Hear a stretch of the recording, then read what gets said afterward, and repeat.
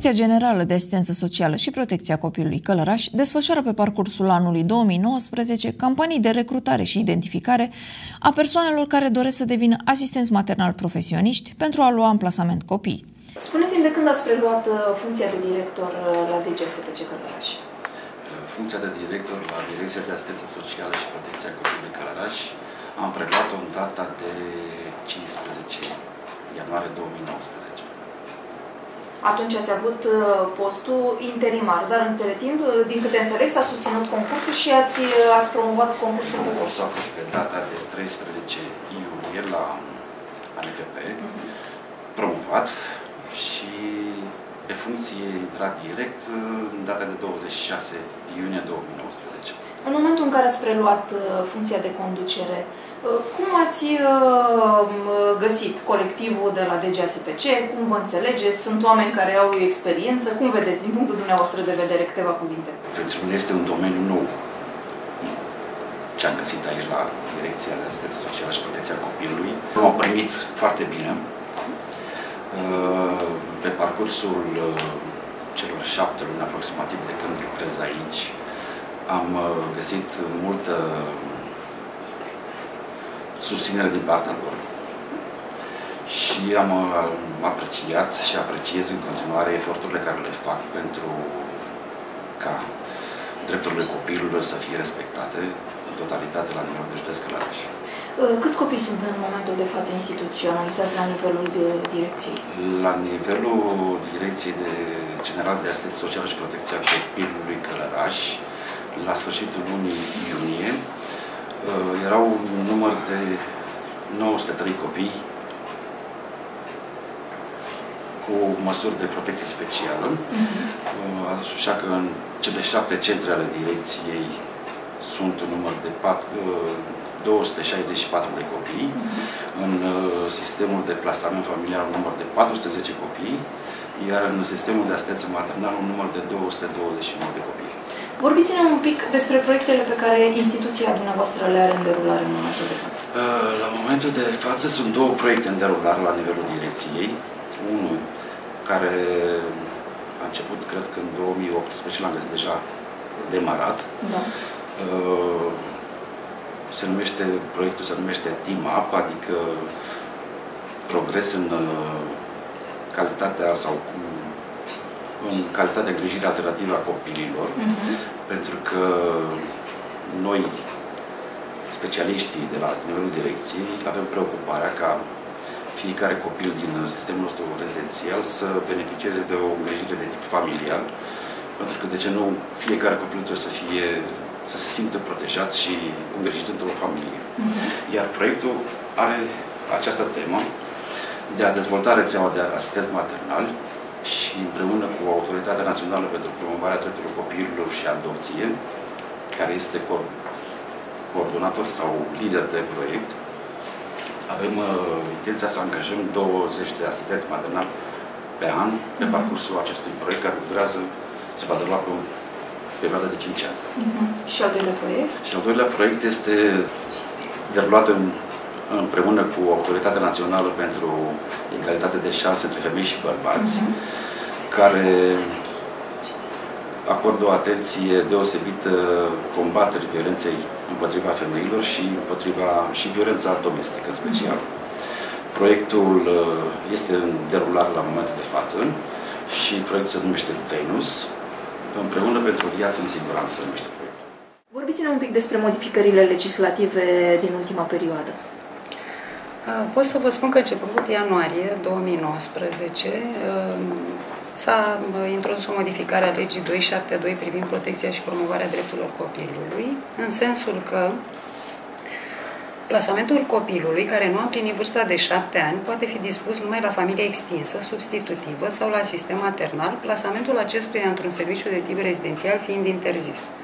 Ce înseamnă acest lucru ca să fac trecerea către proiectele de GASPC și ca să înțelegeți cât este de important să dezvoltăm rețeaua de asistenți maternal profesioniști, Uh, s-a plecat de la ideea că, bineînțeles, orice copil are nevoie de o familie, de la faptul că efectele instituționalizării sunt negative asupra creșterii copiilor și asupra educației lor. Știm cu toții că copiii din centrele de plasament ies în evidență cu comportamente antisociale, delicvente, există acea nevoie de socializare, de valorizare, de implicare în viața comunității, de um, identificare până la urmă a unor soluții de tip alternativ, în sensul uh, găsirii unor servicii de tip familial adecvate nevoilor copilului. Ce este important în legislația noastră este faptul că în toate demersurile noastre trebuie să plecăm de la nevoile copilului și să găsim cea mai potrivită familie care să răspundă acestor nevoi.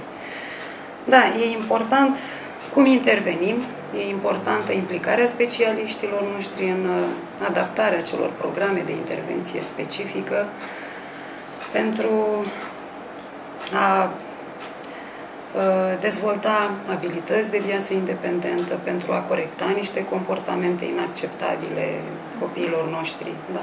Drept pentru care, iată că um, ANPDCA, coordonatorul nostru metodologic, împreună cu Guvernul României au introdus această modificare legislativă, însemnând că sub șapte ani copilul da, nu mai trebuie plasat în centrele rezidențiale. Ca să avem o soluție pentru ei, trebuie să dezvoltăm rețeaua de asistenți maternal profesioniști sau, înainte de acest lucru, să identificăm în familia extinsă a copilului rude sau terțe persoane, familii, pe care noi le evaluăm și care să întrunească condițiile necesare creșterii și îngrijirii unui copil în mediul familiar. De la ce dată a fost aplicată această modificare? Este vorba de legea 286 pe 2018, dar a intrat în vigoare cu 1 ianuarie 2019. Uh-huh. Ce modificări importante au mai survenit anul acesta în legislația noastră? Este vorba de standardele minime de calitate aplicabile tuturor serviciilor noastre sociale. Uh-huh. Și noutatea este pentru că pe serviciile rezidențiale, chiar și în asistență maternală, aveam niște standarde în vigoare, dar ele au fost actualizate, însă acum, în 2019, în 3 ianuarie, a intrat în vigoare acest ordin și îmi permite să vă spun, e vorba de ordinul 26 din 2019 privind aprobarea standardelor minime de calitate pentru serviciile sociale de tip familial, aceasta este noutatea.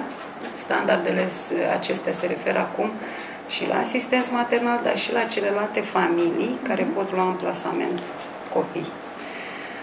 Uh, da, este important și este de remarcat faptul că avem, iată, o metodologie unitară de evaluare a familiilor, da?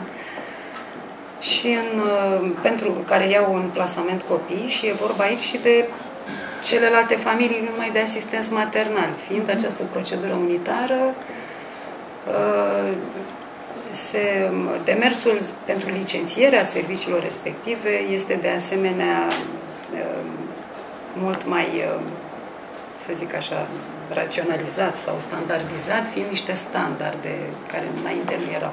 Până în acest moment au fost organizate două serii de cursuri de formare de asistenți maternal profesioniști, în prima serie fiind formate 14 persoane care au primit atestatul, iar în a doua serie au fost pregătite 8 persoane care se află în curs de atestare. Până în prezent au fost angajate 9 persoane. În momentul de față, câți asistenți aveți în evidență? În momentul de față avem în uh, angajați 189 de asistenți maternali, care au un plasament în jur de 230 de uh-huh. copii. Prin proiectul TIMAP ne propunem să dezvoltăm și să consolidăm această rețea de asistenți maternali. Adică, în următorii 5 ani ne propunem pentru fiecare an să angajăm câte 20 de asistenți maternali iar la finele celor 5 ani, sperând că rețeaua noastră de asistență maternală va număra cu încă 100 de asistenți maternali în plus. Uh-huh. Prin uh, proiectul TIMA Progres în calitatea îngrijirii alternative a copiilor nu urmărim doar uh, dezvoltarea rețelei, urmărim și consolidarea actualei rețele pentru că s-a simțit o nevoie acută de perfecționare a resurselor existente. Prin proiect uh, fiecare asistent maternal angajat va beneficia de două sesiuni de formare, fiecare sesiune având o durată de 5 zile, a câte 8 ore pe zi.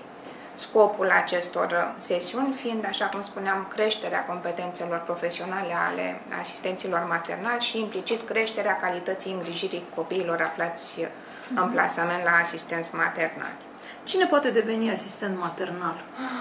Sunt anumite criterii? Bineînțeles. Este o profesie, asistența maternală este o profesie reglementată de hotărârea de guvern 679 pe 2003 privind statutul asistentului maternal, care prevede și condițiile existente pentru a accesa această profesie.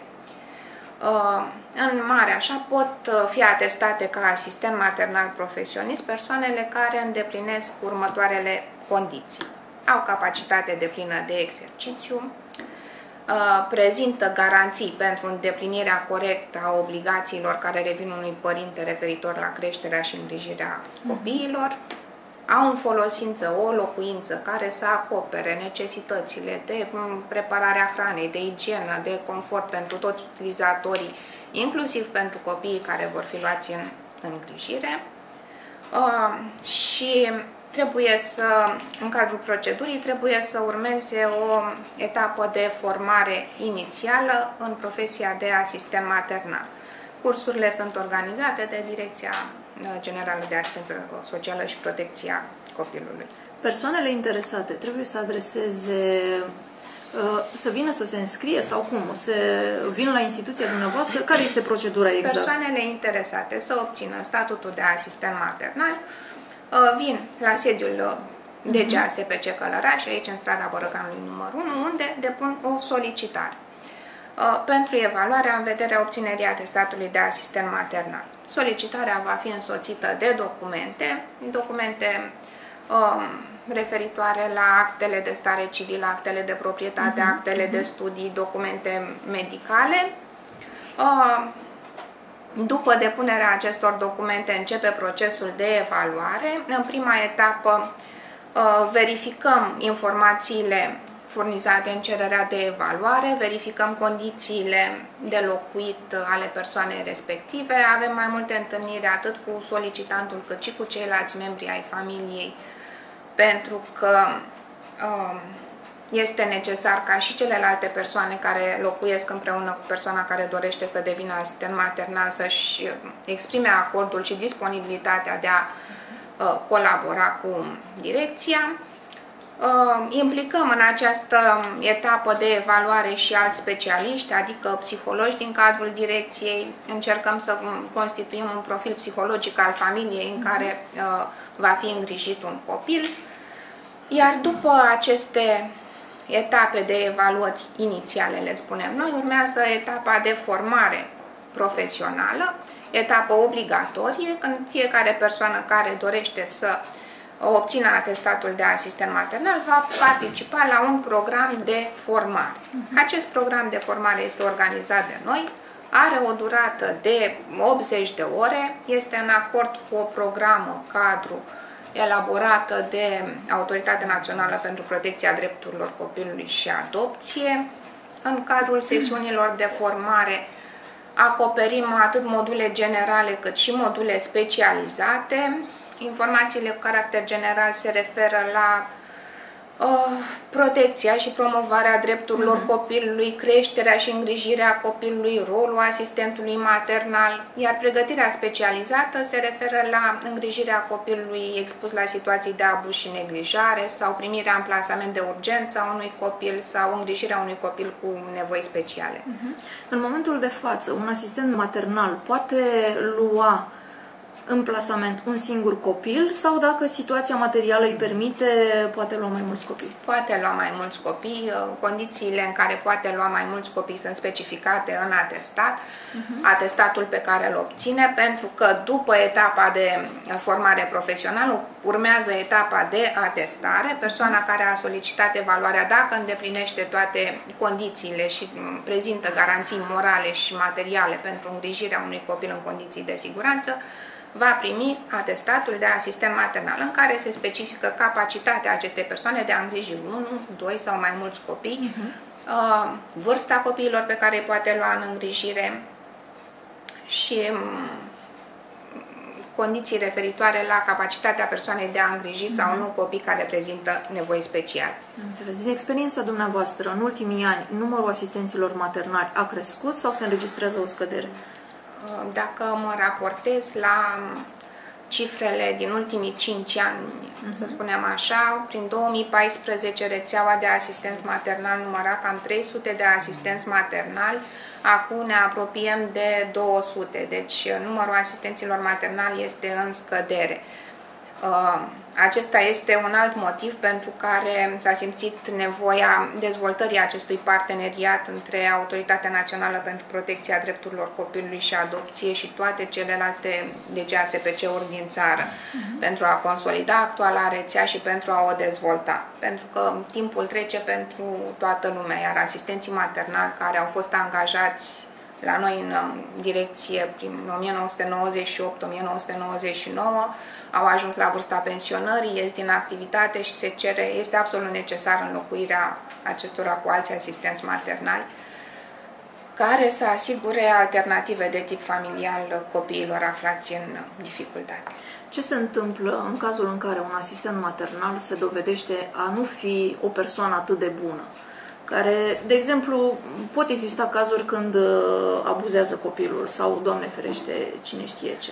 Asistenții maternale angajați sunt monitorizați permanent de către specialiștii direcției, tocmai pentru a evalua în permanență situația lor și evoluția copiilor pe care iau un plasament. În situația în care constatăm că nu, sunt, nu mai sunt îndeplinite condițiile care au stat la bază eliberării atestatului sau că asistenții maternali cu bună voință sau cu rea credință nu și îndeplinesc obligațiile pe care le au, Uh, atestatul de asistent maternal se poate retrage. Uh, am avut cu părere de rău și situații în care am retras atestatul de asistent maternal profesionist și am găsit alte soluții pentru copiii care erau în îngrijirea persoanelor care nu mai corespund din diferite motive uh-huh. acestui statut.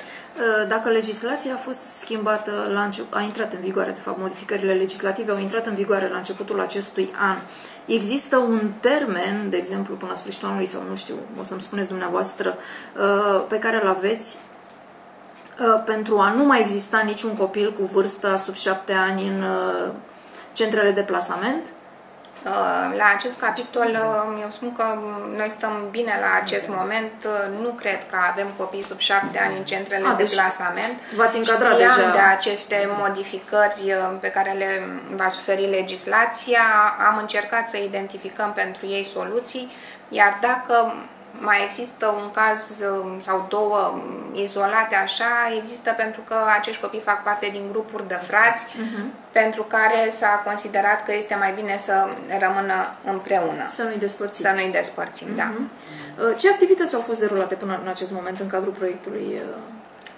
Uh, de la începutul anului și Până în prezent uh, am desfășurat acțiuni de promovare a campaniei de recrutare de asistenți maternali. Am desfășurat aceste acțiuni cu sprijinul serviciilor publice de asistență socială din cadrul primăriilor din județ, cu sprijinul unităților școlare, atât din mediul rural cât și din mediul urban, am apelat uh, la ajutor la, din partea instituțiilor publice din uh, județul Călăraș, aș zice instituția prefectului, Agenția Județeană de Plăci și Inspecție Socială, Direcția Comunitară de Evidență a Persoanelor, Inspectoratul Școlar, spitale, Um, biserici uh-huh. și am primit din partea lor uh, ajutor în sensul de a aduce către comunitățile locale informația că Direcția Generală de Asistență Socială caută persoane doritoare să devină asistenți maternali. Um, Campania de promovare a avut efect, au venit persoane interesate, vă caută, În prima solicită? jumătate a anului am uh, înregistrat în jur de 60 de solicitări. Uh-huh. Toate aceste solicitări au intrat în procedură de evaluare. Am evaluat inclusiv solicitările înregistrate anul, uh, în anul trecut. Uh, iar în luna aprilie am desfășurat prima sesiune de formare inițială pentru 14 solicitanți selectați, mm-hmm. care au obținut și atestat de asistent maternal profesionist, iar în luna iunie am desfășurat cea de-a doua sesiune de formare inițială pentru uh, 8 solicitanți, 7 au obținut atestatul, unul este în curs de atestare. Mm, domnul director îmi spunea un pic mai devreme că în fiecare an trebuie să angajați 20 de asistenți maternali. Acestea sunt obiectivele exact. proiectului. Până la acest moment am angajat deja 14 asistenți maternali. Ei au în îngrijire 17 copii, sunt și asistenți maternali care au în îngrijire câte 2 copii. Uh-huh copii care provin fie din uh, familia naturală, fie au fost abandonați în uh, unități sanitare, fie i-am preluat din serviciile de tip rezidențial. Uh, Dacă numărul solicitărilor depășește numărul de angajări prinse în proiect, se pot face mai multe angajări de 20 Cu sau proiectul stabilește strict 20 Vom de angaja persoane. 20 de asistenți maternali în cadrul uh, proiectului, proiectului, iar ce putem evalua, atesta și angaja peste acest număr vom face cu, uh, o vom face cu resursele direcției. Uh-huh. Pentru că pentru cei 20 de asistenți maternali angajați în cadrul proiectului sunt suportate prin Fondul Social European uh, uh, cheltuielile salariale, iar pentru cei pe care îi vom angaja peste numărul uh, stabilit în proiect, cheltuielile salariale vor fi suportate de către uh-huh. direcție. În momentul de față, numărul asistenților maternali acoperă necesarul dumneavoastră sau mai aveți nevoie de uh, avem nevoie de persoane uh, care să dorească să devină asistent maternal pentru că avem încă în centrele de plasament copii care, așa cum spunea și doamna director, merită și au nevoie să trăiască într-o familie Vorbiți-ne un pic despre beneficiile asistentului maternal. Um, asistentul maternal angajat primește pentru activitatea pe care o prestează un salariu. Salariul se încadrează între 2080 și 2477 de lei în funcție de gradațiile de vechime. Vorbim despre venit net. Uh, salariul de încadrare. Ah, încadrare. Nu. Pornește de la acest salariu la care se adaugă uh, sporuri prevăzute în legislația muncii. De exemplu, un spor de 15% pentru încordare psihică, un spor de 15% pentru al doilea copil primit în plasament și un spor de 25% pentru fiecare copil cu handicap pe care îl primește în îngrijire. La aceste sporuri în care se adaugă la salariu, se adaugă și uh, indemnizație de hrană, se adaugă vouchere de vacanță pe care cu sprijinul uh, conducerii uh, și asistenții maternali le-au obținut începând cu acest an. Au fost niște eforturi uh, pentru care mulțumim Consiliului Județean pentru sprijinul pe care ni l-au acordat. Iar pentru fiecare copil pe care asistentul maternal îl primește în plasament, se acordă alocația uh, lunară de stat, aceasta fiind în cuantum de 150 de lei sau de 300 de lei pentru copiii cu um, încadrare în grad de handicap sau copii cu vârstă până la 2 ani și o alocație de plasament. Alocația de plasament are un cuantum de 600 de lei sau de 900 de lei pentru copiii cu uh, încadrare în grad de handicap. Um, Poți să ieși la pensie? Sunt Din asistenți maternali care au ieșit la pensie uh, după ce au profesat ani de zile această meserie. Um, spuneam mai devreme că primii asistenți maternali au fost angajați în 1998-1999, deci iată suntem la 20 de ani uh, de la primele serii de asistenți maternali și încă mai avem angajați asistenți maternali din 1999 care probabil se apropie de vârsta pensionării cărora putem să le spunem la mulți ani anul acesta și să le urăm putere de muncă în continuare. Uh, asistenți maternali cărora le-au trecut prin uh, mâini și prin uh, case generații întregi de copii, pentru că a fi asistent maternal nu înseamnă doar a primi acest salariu și a găzdui un copil. Înseamnă să ai în mâini viața acestui copil. Înseamnă să îți asumi responsabilitatea pentru creșterea, îngrijirea, educarea lui în niște condiții care să-i permită copilului o dezvoltare armonioasă din toate punctele de vedere. Nu înseamnă doar să-i asigur nevoile de bază, adăpost, hrană, îmbrăcăminte, încălțăminte.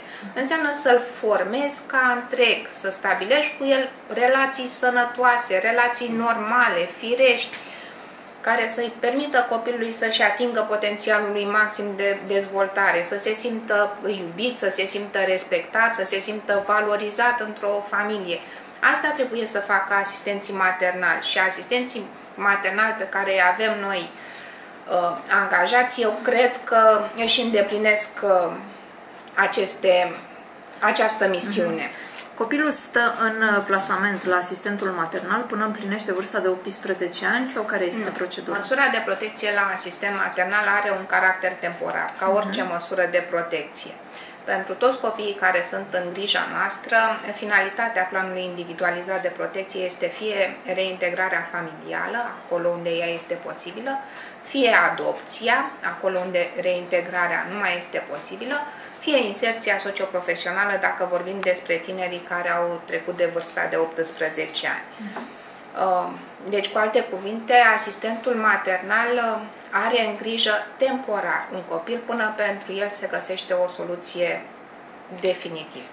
Ca om, omenește vorbind, te atașezi de copilul respectiv. Există posibilitatea ca asistentul maternal să adopte copilul? Dacă statutul copilului este de copil adoptabil, asistentul maternal are posibilitatea să-l adopte. Legea îi acordă o prioritate mm. pentru adopția copilului dacă își exprimă această intenție în niște termene prevăzute de lege. La momentul la care se deschide procedura de adopție, la momentul la care de fapt se stabilește finalitatea planului individualizat de protecție ca adopție, Asistentul maternal este informat, îi sunt aduse la cunoștință demersurile pe care trebuie să le facă pentru a obține atestatul de persoană sau familie aptă să adopte și dacă dorește să adopte copilul pe care îl are în grijire, o poate face. Există o limită de vârstă sau asistent maternal poate deveni orice persoană indiferent de vârsta pe care o are? Au prioritate în evaluare persoanele cu vârstă până la 55 de ani, pentru că asistenții maternali trebuie să îndeplinească roluri uh-huh. și atribuții părintești. Uh, trebuie să aibă capacitate, competențe și putere să alerge după un copil, indiferent de vârsta lui, uh, să-l ajute la școală, să-l ducă la grădiniță, să îi răspundă nevoilor speciale dacă acestea există. Ori dacă vorbim deja de vârstă înaintată, este un pic uh, mai, mai greu, greu să răspunzi tuturor nevoilor copilului.